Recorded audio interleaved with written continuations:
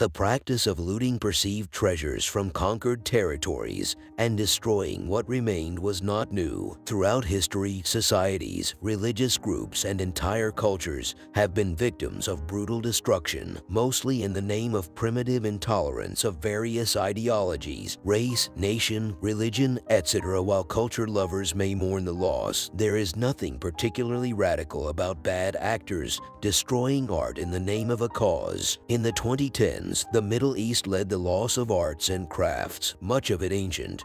The number of historical sites lost to ISIS increases every year. The collective power vacuum that followed the Arab Spring left vast swaths of land under Islamic State control. ISIS fighters come from all over the world, including the United States. This video will refer to the group as Daesh, which is another name. Daesh's insular interpretation of the religion fuels an incendiary agenda to violently remove symbols of the non-Islamic faith from the world. The group seems willing to let the agitators erase history. This video intentionally focuses on the historical sites and beautiful artifacts destroyed by these people rather than the additional loss of life that accompanies such extreme iconoclasm.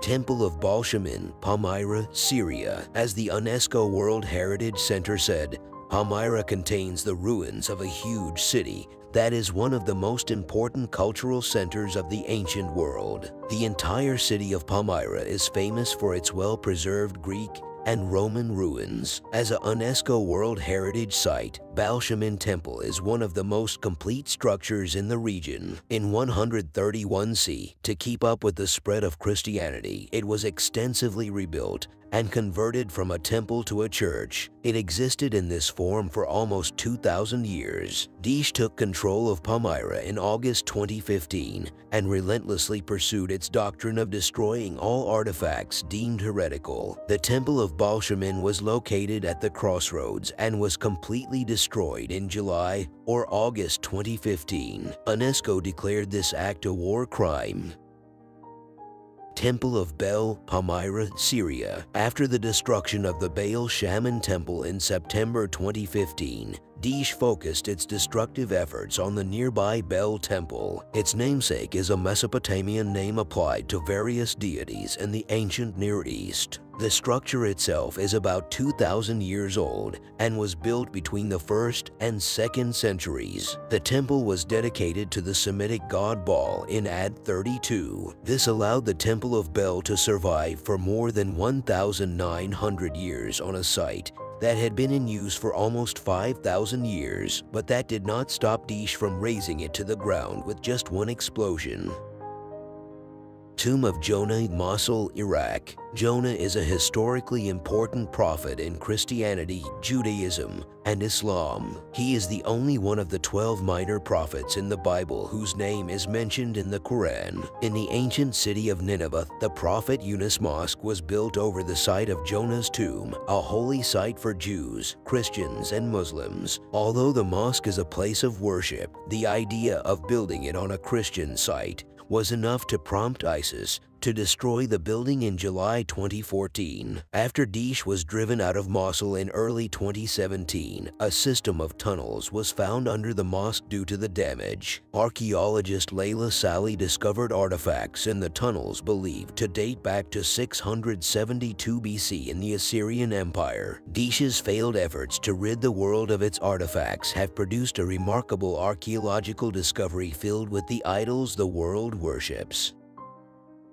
Buddhas of Bamiyan, Bamiyan Province, Afghanistan. A group of monumental standing Buddha statues dating to the 6th to 7th century, which stood for more than 1,700 years, was reduced to rubble in a matter of weeks in March 2001. Coverage of the Taliban has fallen to the wayside in lieu of Daesh, but the political party's history is not without atrocities. After nearly a decade of political upheaval after the Soviet withdrawal from Afghanistan, Afghanistan in 88-89, the Taliban dominated worldwide news before 9-11 when it completely decimated historic landmarks. Unsatisfied with the issues caused by artillery and anti-aircraft weapons, the Taliban resorted to drilling holes to place dynamite throughout the statues. The detonations obliterated the Bamiyan Buddhas, Arch of Triumph Monumental Arch, Palmyra, Syria. Before becoming one of Palmyra's most recognizable ancient sites, the Memorial Arch was once a tribute to Rome's victory over the Parthians. The arch was built during the reign of the Roman Emperor Septimius Severus on the ancient city's famous colonnade, which connected the Roman Empire with Persia. The Arc de Triomphe is known to lead to the ancient Temple of Baal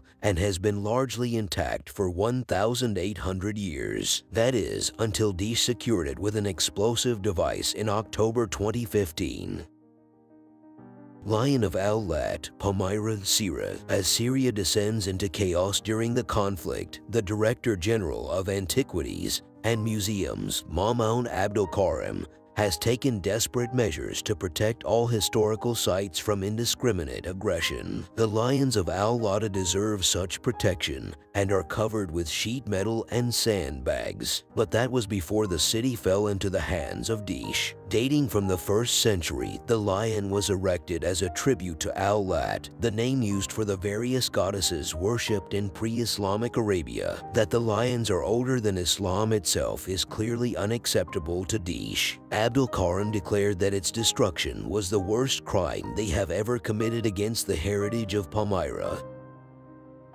Deir Mar-Elia, uh, Mosul, Iraq Ders Mar-Elia is the oldest Christian monastery in Iraq, which originally belonged to the ancient eastern branch of Christianity. Built over 1,400 years ago, the monastery was completed in the late 6th century and operated until 1743 when the Persians killed the occupying monks after refusing to convert to Islam. The building is a testimony to the historical importance of Christianity in the area. When the Iraq conflict broke out in 2003, the monastery was vandalized by Saddam's Iraqi tank units, international troops, and graffiti on the walls and looted. American military chaplains took control of Dare's Mar-Elia Abbey and started to fix some of the problems caused by the conflict. In 2014, ISIS experienced a wave of territorial expansion in Iraq, first in the hard-hit cities of Fallujah and Ramadi, then capturing Mosul. The team destroyed Ders Mar-Elia twice before the remains were bulldozed. Shrines of Muslim Holy Men, Timbuktu, Mali. In the summer of 2012, Mali saw efforts by the Movement for Unity and Jihad in West Africa to gain more control over West Africa. MOJWA, which emerged as an offshoot of Al-Qaeda, took control of Mali's three largest cities with the help of Ansar Dine, another Al-Qaeda-backed group. The newly acquired territory included Timbuktu, also known locally as the City of 333 Saints, home to centuries-old shrines and tombs of Muslim saints. Zealots inspired by Al-Qaeda demolished the UNESCO heritage site because Timbuktu's mausoleum was mainly dedicated to Sufi Muslims. In 2013, when Fama Fama's forces advanced on the stronghold at Timbuktu Airport, the militants set fire to thousands of ancient manuscripts before retreating. Various artifacts and ruins, Nimrud, Iraq. Nimrud was a major Assyrian city between the 9th and 8th centuries BC the strategic location between the Tigris and the Great Zabar rivers made Nimrud a major population center. Its lands were later found to be so rich in cultural and historical artifacts and sites that excavations began as early as 1845. Archaeologists have identified Nimrud as the biblical city of Kara, and Nimrud's findings have been on display in museums around the world for decades. After Daesh took control of the area in the spring of 2015, the group posted several several videos online in which members vowed to remove all remaining artifacts and ruins. In November 2016, ISIS withdrew from Nimrud, and when Iraqi forces recaptured the city, the fears of many historians came true. As local resident Hassan Mahmoud recalls, thousands of years of culture disappeared overnight. Ancient city of Hatra, Hatra, Iraq According to some, one of the oldest sites on this list is the ancient city of Hatra, founded as far back as 300 BC descendants of Alexander the Great. It has been speculated that Hatra may have been the capital of a proto-Arab kingdom that spanned the territories of present-day Iraq, Syria, Lebanon, and Jordan. The walled city has withstood sieges by would-be conquerors over the centuries, though its history has a list of rulers. Its structural layout and temples dedicated to ancient gods such as Poseidon and Apollo made it a venerable example of a Parthian city, and it was even used in the opening sequence of the film The Exorcist. The group turned its bulldozers on Hatra in March 2015, days after Daesh destroyed Nimrud. World Trade Center, New York City. Terrorist groups extend beyond their country of origin. Nowhere was this more evident than on September 11, 2001. The cultural significance of the Twin Towers doesn't go as far back in human history, but it would be irresponsible for this video to be incomplete without including them. Fake contents of the Mosul Museum, Mosul, Iraq. In 2014, the group captured the hard-fought cities of Fallujah and Ramadi, then Mosul. In the center of the city is the Mosul Museum, which was the second largest museum in Iraq at the time. Its inventory once included Assyrian and Akkadian statues and sculptures, including the famous winged bull of Nineveh. Daesh henchmen ransacked the Mosul Museum and destroyed almost everything inside. What they didn't know at the time was that much of that effort was wasted. Apart from a few larger items, such as the winged bull, most of the Mosul Museum's collection was transferred to Baghdad a few months before before Daesh captured Mosul. Propaganda videos are filled with rank and file members flexing their muscles to smash worthless fakes, as Baghdad Museum Director Fawzi Al-Mahdi described them. Do we need to rebuild historic sites ruined by terrorism? Or just let it be in rubbles as a reminder of destruction? What is your thoughts? Feel free to leave a comment below and don't forget to subscribe to the channel and turn on notifications and you'll be the first to know when a new video comes. Thank you for watching and see you in the next video.